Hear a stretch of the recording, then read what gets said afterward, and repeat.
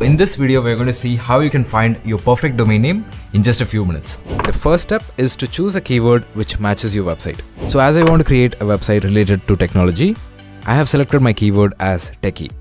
So I'm going to enter techie, which is my keyword. Now, as soon as you click search, you will find all the domain names which are available with your keyword. So let's say you like this domain. Just click on it and you can see that it is still available.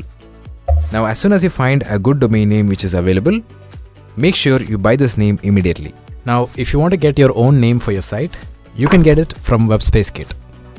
So just search for the name you want and then get your domain from here. So this is how you can find a good domain name for your website.